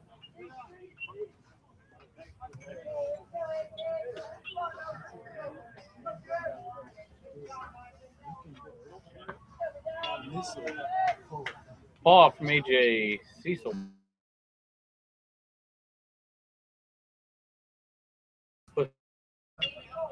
Oh, I missed it.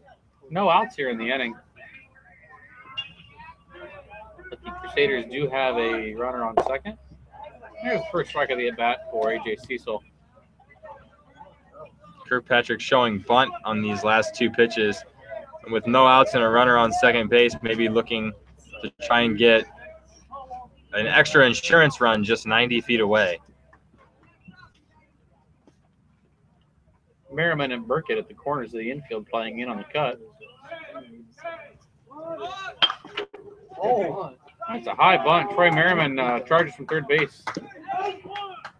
Charged from third base barehanded, threw across the diamond to Cam Johnson covering at first. That's a nice play from Troy there to get the out at first base, but that does advance the runner. Runner 90 feet away from home face now, home plate now. The potential to give the Crusaders a three to one lead. a blue one. Right, and that would spell trouble for Findlay as every run has been a struggle thus far. Come on, big bunny. Yeah, the Oilers have scored early in games this week. They haven't scored late. Swinging a foul tip into the glove of Miguel Valdez. Austin Alfrey at the plate now wearing number 29. Infield playing in here for the Oilers. Everybody gets a cut of the grass. Another swing and a miss there by number 29, Austin Alfrey. Nice job of Cam Johnson there backing up the pitcher in case.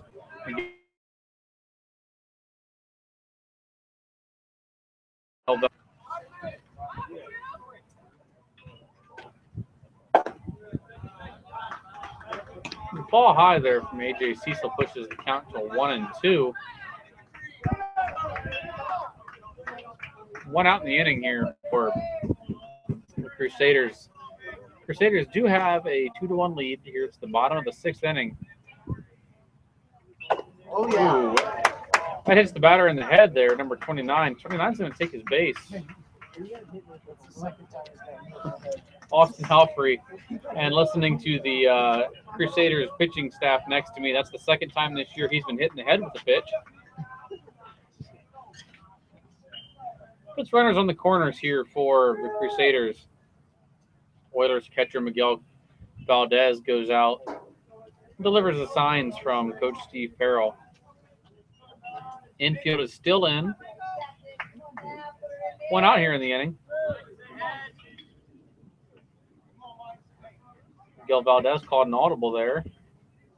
That hit by pitch, not the worst thing in the world for Cecil, as first base was open. Now with one out, gives the Oilers a double play opportunity, but infield does not play a double play depth, so everybody in. First good strike there from AJ Cecil. So a double play, not an option. I mean, barring barring a line drive and a force out, really trying to prevent that run from scoring. I think Coach Farrell knows that every run is enormous in this ball game.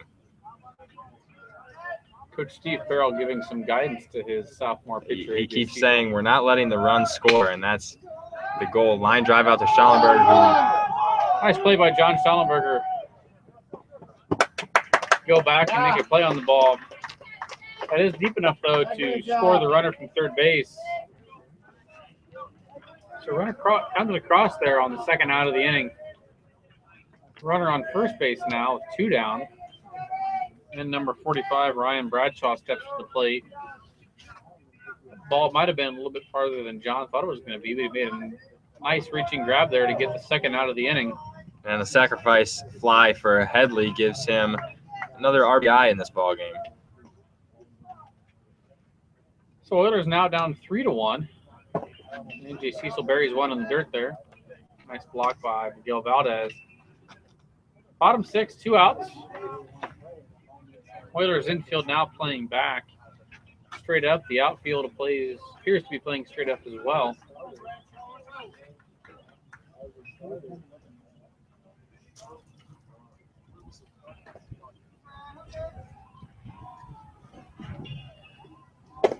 Bradshaw with a big swing and a miss there. It's a nice pitch on the inside part of the plate from AJ Cecil. Count goes to one and one here with two outs to Ryan Bradshaw.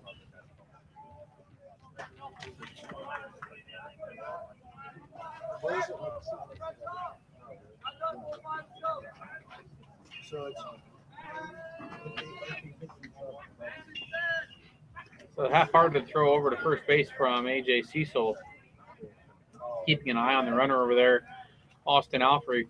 Not so sure sending Alfrey here would be a bad move. Uh, you might as well take the risk up two runs here. Foul ball there, but there are two outs.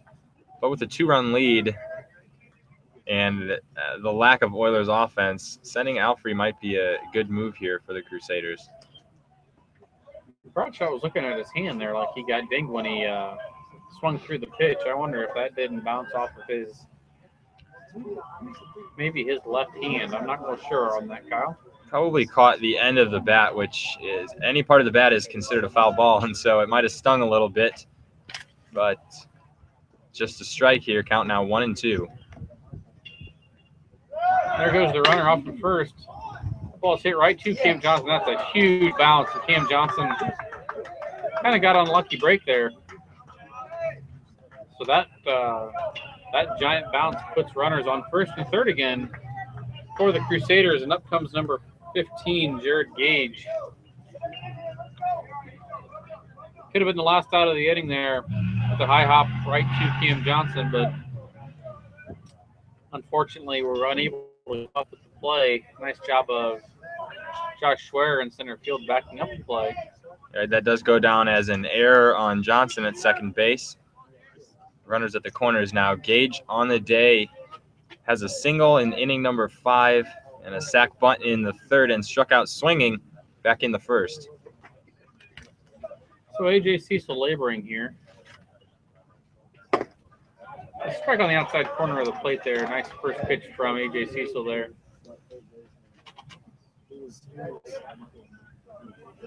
Two outs in the inning.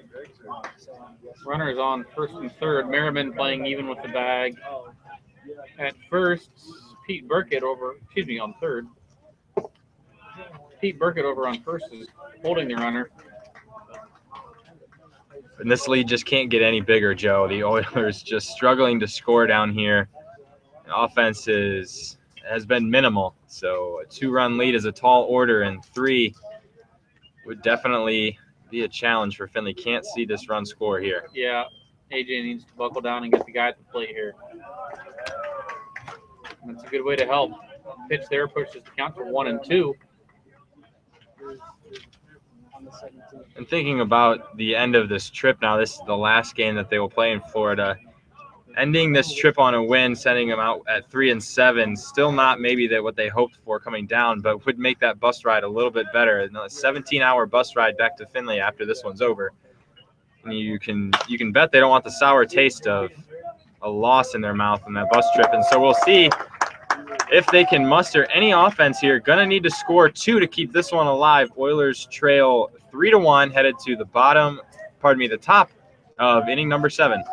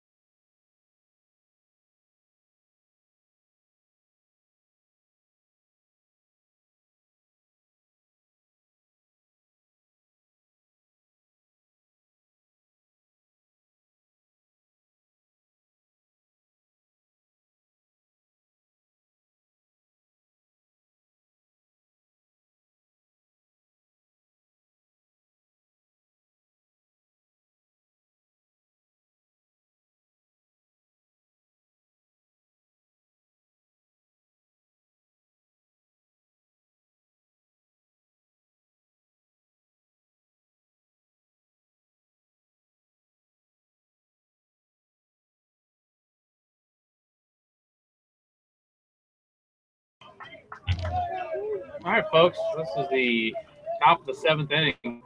Oilers are down three to one, and this is going to be uh, this is going to be it. If the Oilers can't cross two across the plate here, there are some defensive substitutions. Kyle's going to go over here with you momentarily. But at the plate, we've got Pete Jorgen. Pete will be followed by John Schellenberger, and Troy Merriman, and Kevin Schrock.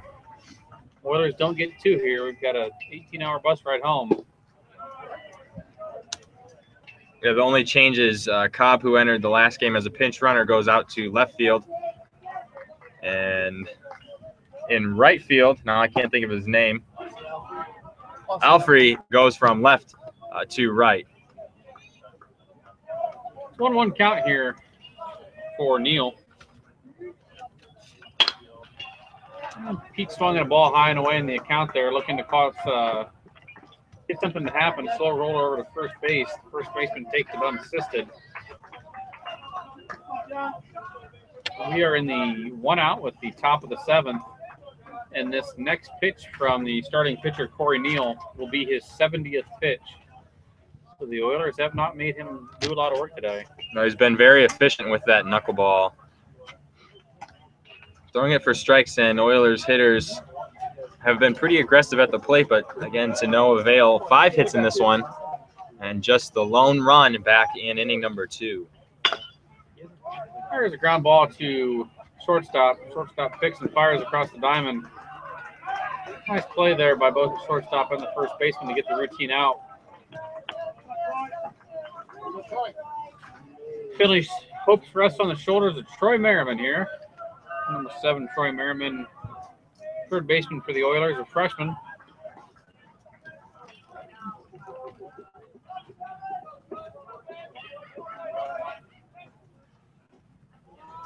Strike on the inside corner of the plate there was had Troy ducking out. like to see Troy come up and barrel one here to give the Oilers some life. 59 foot knuckleball. Catcher has to go down and make a play on. Pushes the count to one and one.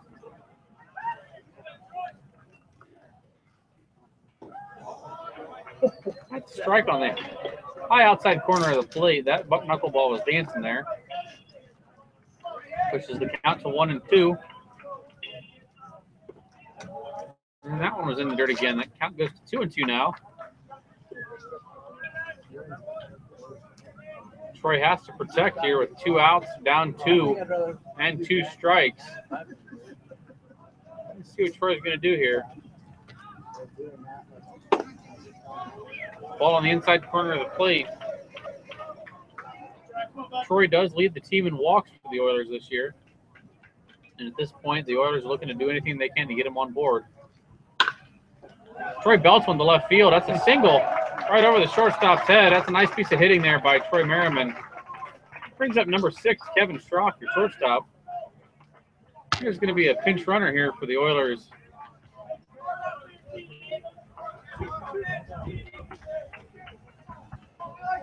Troy Merriman with a nice piece of hitting there is going to get pinch ran for by That's senior Tyler Donaldson coming off of the bench to do the pinch running here for the Oilers. And hopefully it's not too little too late here. Only need two for the Oilers. Schrock at the dish.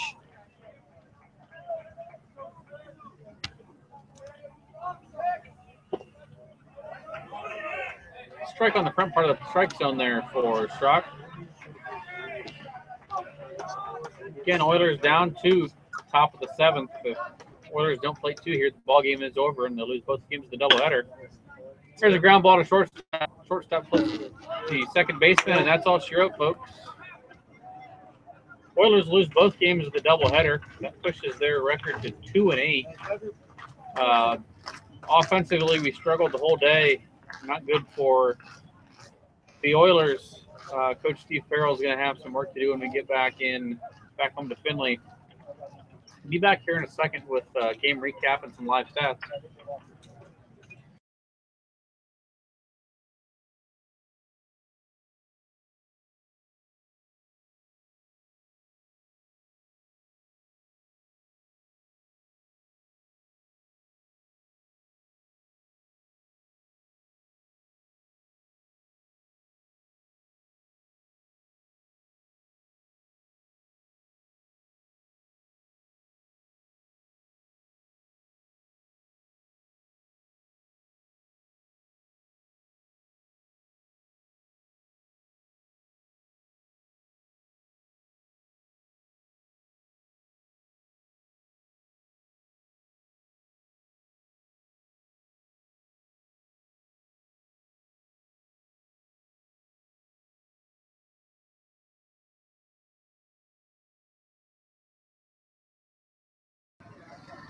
Again, your final here. Oilers fall in this, their second game of the doubleheader. They fall by a score of three to one. Winning pitcher on the day is Neal for the Crusaders. He goes to one and two, and the losing pitcher is Austin Radesky, who falls to one and one. Radesky pitched a pretty good one here today. Went four innings, allowed five hits and just one earned run. Struck out seven, but offense or the lack thereof was the issue for the Oilers again here in game two. Not enough to get the win here as the Oilers only can manage one run. Did have six hits, out hit the Crusaders, but made three errors, playing a part in this three to one loss for the Oilers. Merriman was two for two in that ball game with an RBI. Josh Schwer and Cam Johnson each collected their first hits as college baseball players. So, congratulations to those two young men. Hopefully, many more to come. But no consolation, I'm sure, for Coach Farrell. Still looking for answers here as the Oilers fall to two and eight and conclude their trip down here to Florida. It's going to be a long bus ride back, I'm sure. Yeah, Kyle. The you know the bright spot for the Oilers on this trip to Florida was uh, pitching staff looked pretty good early in the year, uh, offensively and defensively behind the pitching staff. We struggled a little bit this week. Coach Steve Farrell was uh, jostling lineups that entire week. You know, he started the same lineup maybe two or three times that I can think of off the top of my head. But Oilers end the road trip two and eight. Not the way Coach wanted to start, but it's early in the year. We haven't started GLIAC play a ton yet. Um, follow us on Twitter. Uh, Twitter handle is at UF underscore baseball underscore. Kyle will be live from Cary, North Carolina next Thursday and Friday, or Friday and Saturday. I forget the dates there. I believe it's Friday, Friday and and Saturday. Saturday. And uh, we've got two double headers down there. And the Oilers' first home game at Marathon Diamonds in uh, Findlay, Ohio is March 18th. We look to see you then. For Kyle Neerman, I'm Joe Berry. Have a great day.